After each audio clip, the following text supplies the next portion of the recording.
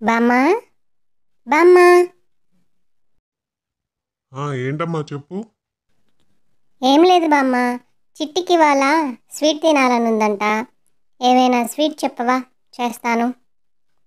పనిలో పని మన ప్రేక్షకులు కూడా వింటారు. చెప్తావా బామ్మ?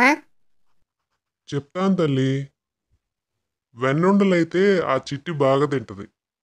ముందు వెన్నుండలకి ఏమేం కావాలో చెప్తాను చూడు. బియ్యపిండి ఒక అరకిలో తీసుకో. మినపప్పు ఒక చారెడు. నువ్వులు వంద గ్రాములు. కొబ్బరి చిప్ప ఒకటి. వెన్న అరకప్పు ఉప్పు సరిపడినంత. ఇంకువ కొద్దిగా. నెయ్యి దట్టంగా వేద్దాం. అరకిలో తీ. బియ్యం కడిగి బొట్లో వారవేసుకోవాలి రోట్లో వేసి దంచి పిండి కొట్టాలి. దడుచుకున్నారు రోట్లో వేసి మమ్మల్ని కొట్టమనట్లా. నేను కొడతాను. ఈ పిండి బాగా మెత్తగా కావాలి. ఈ పిండి మంచి ఎండలో ఎండబెట్టి బాగా ఎండనివ్వాలి. ఇప్పుటోళ్ళు మిక్సీలో వేసుకుంటే సరిపోద్ది. లేదంటే మీకున్నాయిగా ఆన్లైన్లో ఆర్డర్లు పెట్టేసుకోండి. మినపప్పు ఎర్రగా వేయించి తిరగల్లో విసిరి పిండి చేయాలి.